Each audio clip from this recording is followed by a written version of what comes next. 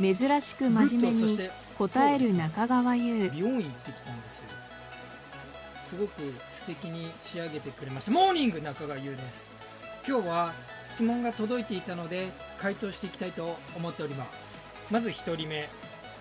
中川さんは自分でかっこいいと思ってますか？思ってません。ビジュアルですよね。ビジュアルについてですよねあかっこいいと思ったことはございません。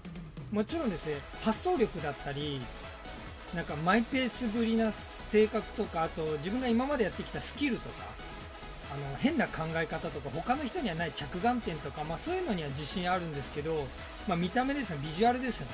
それに関してはね僕ネガティブでネクラなんで、あのー、自分でかっこいいと思ったことはやっぱり一度もないですね。たまになんかメンズビューティーで美容系の動画上げたりするんですけどもしね自分でかっこいいと思ってたら自分磨きなんかしないと思います。続きまして2人目。今度高校生になります。あのオーディション受けようと思っているんですがどうしたらいいでしょうか。受けてください。もう迷ったら受けてください。10代でやれることっていっぱいあると思うんですよ。後々やっぱり受けとけばよかったなって思うぐらいでしたら受けてください。特にオーディション受けるときってやっぱり自己 PR だったりとか特技とか披露すると思うんですけど受けられない理由がまあ、そこがないっていう人なんですよね。何の特技もありませんと。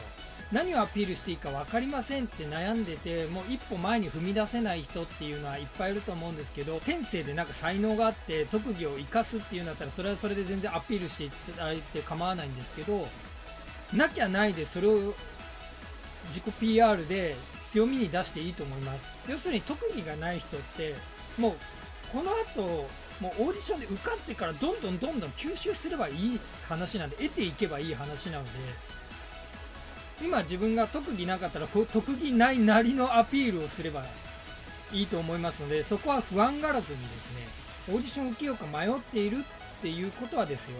もうその気になってるってことなのでそれだったら例えば僕が背中を押してくれれば受けますとかだったらいくらでもします。受かろうが受からないようが結果がどっちに転んだとしても受けないで後悔するよりか受けて後悔してください。その方が身になります。とにかく数をこなしていけばいいんですよ。